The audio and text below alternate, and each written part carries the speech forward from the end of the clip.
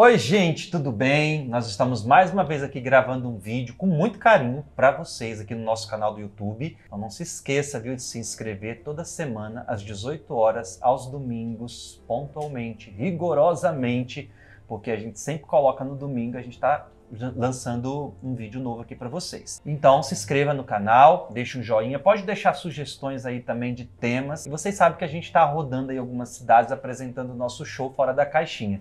E eu tenho encontrado tantas pessoas lindas, maravilhosas, que têm me dado tanto carinho, tanto amor, que isso engrandece tanto e eu estou muito feliz por causa disso. Hoje nós estamos aqui em Curitiba, no Teatro Fernanda Montenegro, essa cidade linda, maravilhosa que acolheu a gente tão bem e eu vou apresentar para vocês algumas dessas pessoas que a gente vai encontrando aí pelo caminho. Uma dessas pessoas é a Maria Helena. É, a gente conheceu ela aqui hoje. Inclusive, ela me deu presente já. Ela, família, traz aqui, Ana, o pinhão.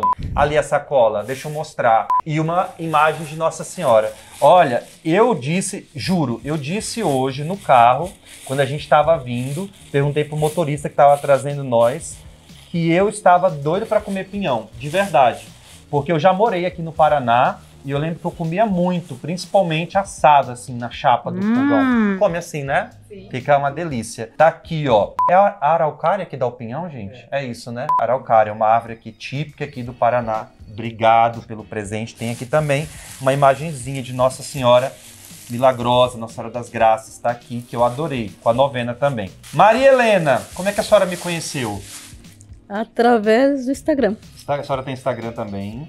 Tenho, e através da minha filha, né? Que minha filha que. Ela te que, apresentou. Que apresentou, falou: mãe, a mãe vai gostar, e daí eu comecei. E continuei e gostei. Me acompanha sempre lá. Acompanho. Mora aqui em Curitiba mesmo. Mora aqui em Curitiba. Nasceu aqui? Não, nasci no norte do Paraná.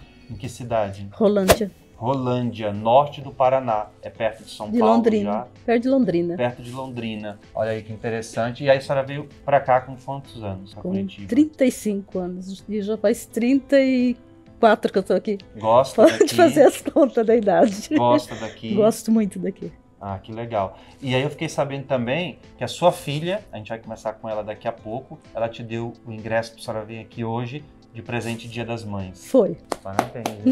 Presentão esse, né? Ave Maria.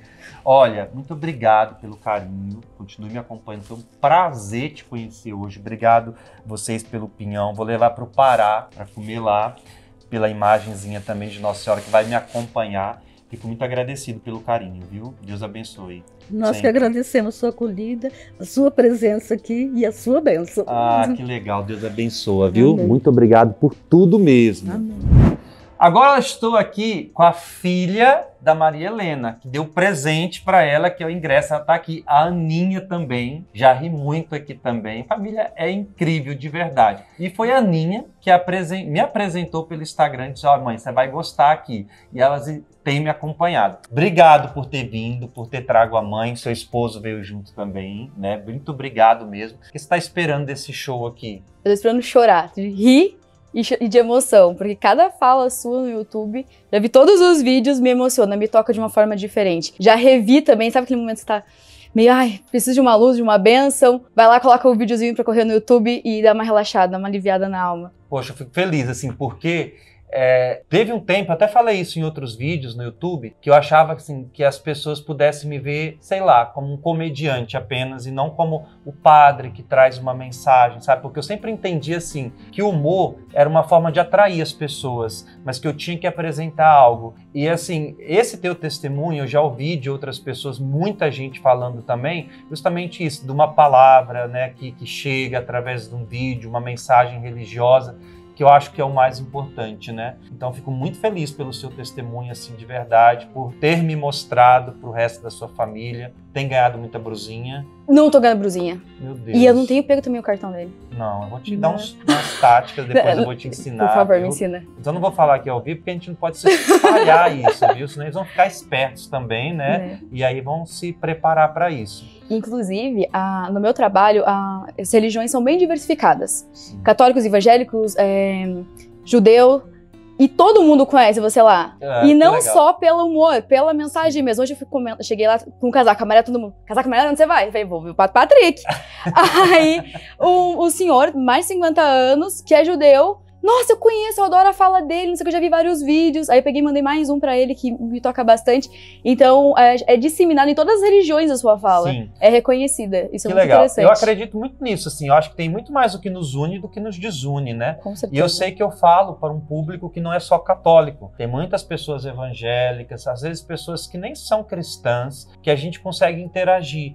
Então, eu fico muito feliz por isso, porque eu acho que a gente acaba quebrando alguns muros, algumas barreiras. Acho que não é legal essa briga boba que às vezes tem entre religiões, isso só atrapalha com que o evangelho seja conhecido. Então, Aninha, obrigado, viu, pela Obrigada participação aqui, por ter trago a mãe. Obrigado mesmo, tá? Obrigada por ter recebido a gente com tanto carinho. Obrigada por estar em Curitiba. Venha mais vezes. Ah, Que com certeza- vou vir, com certeza. A gente vai estar na primeira fileira de novo.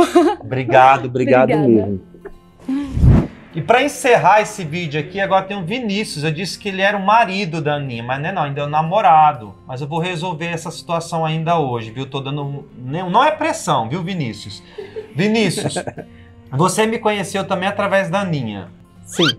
Mas você veio aqui hoje de boa vontade ou foi quase obrigado a vir? Não, vim de boa vontade Ah, também. que bom. Sabe por quê? Às vezes os maridos são arrastados, assim, né? As mulheres, as namoradas, carrega eles. Uhum. Mas você veio de boa vontade. Vim, sabendo que vim. fez até a barba pra estar aqui. Fiz até a barba. Que E era uma legal. briga, porque a- eu deixava ela, faça essa barba aí que fica só uns fios aqui e ali, né? Hum. Falei, não, vou deixar. É igual a minha. Ô, amigo, eu te entendo. Porque é triste, né? Quando a gente não tem aquela barba, assim, de respeito, aquela cheia, né? Onde eu trabalho tem os menores aprendizes, até menor aprendiz vai com mais barba que eu, assim, daí é meio... É, Meio eu, chato, eu, eu né? entendo. Eu sempre quis ter, assim, aquela barba, assim, cheia, sabe? Mas, infelizmente, Deus não me honrou nisso, né? Uhum. Mas é assim mesmo, a gente não pode ter tudo. Sempre falo, assim, que se eu, por exemplo, tocasse, cantasse alguma coisa assim, eu seria um nojo. Acho que Deus quis me derrubar, me dar uma rasteira, assim, não, você não vai. E aí eu sou totalmente leigo pra música. Você mora aqui em Curitiba, Moro em Mandirituba, é 30 quilômetros aqui. é região metropolitana. Aham, região metropolitana. Que legal. E aí vocês se conheceram onde você e a Aninha? A gente conheceu pela internet. Sério? Uhum. Instagram. Não no Facebook. Facebook. Mas vocês têm Instagram, não tem? Então, Tem. Depois começaram a conversar pelo WhatsApp. pelo WhatsApp. E quanto é, tempo depois vocês se encontraram? Acho que foi um mês, quase dois meses conversando. Conversando. E ela demorava preparando. responder. Te dava um gelo. Dava um gelo, demorava pra responder, mas eu, né, É Não, sempre elas mandava. estão seguindo meu conselho, tem que fazer difícil, né? É, Elas não podem dizer que ama primeiro. É, Tem que, tem que esperar, tudo tem que esperar. Então ela tá certíssima, fazer difícil mesmo assim. E aí vocês começaram a namorar, tem quanto tempo? A gente con- conta um ano que a gente já conta desde o dia que, eu- Que é, que eu comecei a conversar. E aí estão nessa assim. caminhada, se Deus quiser, Aham. antes do apocalipse vão casar, né? E eu tô registrando nesse vídeo aqui que eu vou vir fazer esse casório, viu? Tá gravado aqui, tá? Mas tem que casar, então, pra eu vir pra Curitiba de novo, É, tá bom? Ter a benção de Deus. Vinícius, muito obrigado. Que Deus abençoe muito vocês, sua família, seu trabalho. Obrigado por participar desse vídeo. Olha, gente, não se esqueça, se inscreva aí no nosso canal. Muito obrigado pelo carinho de todos. Eu conversei com três pessoas aqui para a gente demonstrar um pouco desse carinho que a gente recebe aí nas estradas. Um beijo no coração de vocês, viu? Estressante no trabalho, né? Dá Senta lá, olhadinha. pega, vê. Daí, tipo, ela manda bastante vídeo também. Essa semana tava dando risada sozinho lá, que você mandou um vídeo dele, né? Eu fui no ônibus no caminho do trabalho na terça, vendo os vídeos da os stories da segunda, Aham. atualizar e mandando pra ele. Ri aí comigo. Da... E ele não contou aqui. Quando ele falou, é meu amor primeiro, eu falei que não acreditava. Ela não acreditava. Sério, é, foi difícil, né? Ela tentou, Por isso que eu tô me beijar, me- ele pra numa igreja lá no. Tem um santuário Pra aqui. me dar o primeiro beijo, eu não falei que não. Fiz- eu, me fiz difícil. eu- Eu, segui as dicas. eu fiz que uma- o cartão ainda não deu. Eu fiz uma É preparação. um tempo. Eu fiz uma preparação Gente, e come lá um pouquinho. Fez uma preparação toda, É. amigo.